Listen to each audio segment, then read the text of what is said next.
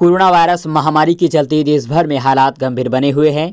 Corona virus संक्रमित लोगों की संख्या में तेज़ी से हो रही बढ़ोतरी को देखते हुए सरकार ने सीबीएसई दसवीं बोर्ड की परीक्षाओं को रद्द कर दिया है, जबकि बारहवीं की परीक्षाएँ स्थगित की है। शिक्षा मंत्री ने इस बात की जानकारी दी है। शिक्षा मंत्री रमेश पोखरियाल निशंक ने ट्वीट कर कहा, चार मई से चौदह जून 2021 तक आयोजित होने वाली दसवीं की बोर्ड परीक्षाएँ रद्द कर दी गई है। कक्षा दसवीं बोर्ड के परिणाम बोर्ड द्वारा विकसित किए जाने वाले एक ऑब्जेक्टिव क्राइटेरिया के आधार पर तैयार किए जाएँगे।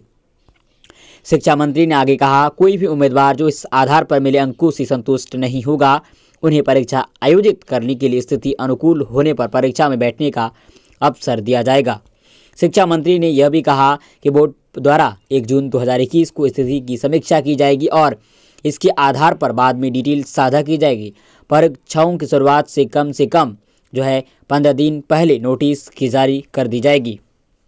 प्रधानमंत्री नरेंद्र मोदी ने शिक्षा मंत्री के साथ बैठक की, जिसमें यह अहम फैसला लिया गया है।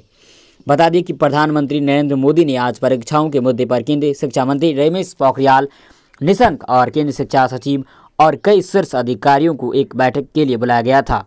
बैठक के बाद एक बयान में जारी कर बताया गया कि केंद्र सरकार ने देश भर में कोविड 19 महामारी के बढ़ते मामलों के मद्देनज़र सीबीएसई की दसवीं की परीक्षा रद्द कर दी है, जबकि बारहवीं की परीक्षा स्थगित करने का फैसला लिया गया है।